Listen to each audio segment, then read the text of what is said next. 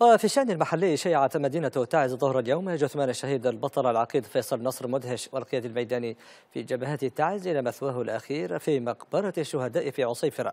وحضر التشييع قيادات عسكرية ومدنية وشعبية بارزة والكثير من المواطنين ومن محبي الشهيد. ويعد الشهيد فيصل واحدا من أبطال الجيش الوطني والذي كان له دور بارز في مواجهة الانقلابيين الحوثيين منذ انطلاق المقاومة الشعبية في العام 2015 وسجل الشهيد حضورا في مختلف جبهات المدينة مدافعا عن الجمهورية وساعيا لكسر الحصار عن تعز وحاميا للسكان من إرهاب الميليشيا ودمويتها. هذا يعتبر شهيد محافظة وليس شهيد أسرة أو بيت أو فهو شهيد مجتمع يعني ناضل وقاتل من أجل هذه المحافظة وضحى بالغالي والنفيس.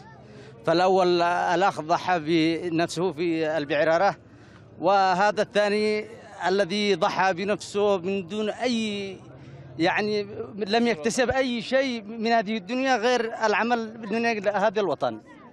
اليوم نودع علما من أعلام تعز وبطلا من أبطالها الميامين الذي كان لهم دور كبير. في صد هذه الميليشيات وكسر عنفوانها فيصل نصر نعرفه منذ اللحظة الأولى وانطلاق المقاومة في البعلارة في عام 2015 في شهر أربعة.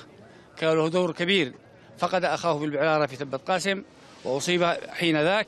ثم أصيب مرة أخرى وها هو الآن يترجل شهيدا بطلا عملاقا. نحسبه كذلك ولا نزكي على الله أحدا.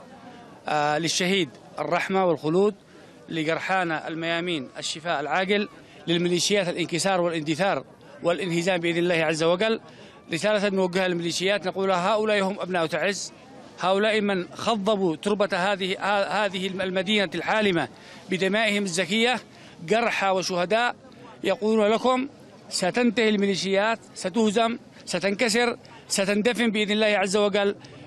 بهمة وعزيمة أبناء اليمن الميامين في كل شبر ومترس وخندق ونفق في كل أرجاء هذه هذه البلاد الطيبة للميليشيات الانكسار والاندحار وللشهداء الأبطال العزة والخلود والجلال بإذن الله عز وجل. هذا الشهيد كل الناس تعرفه في الجبهات في في في في حتى للمساكين والفقراء.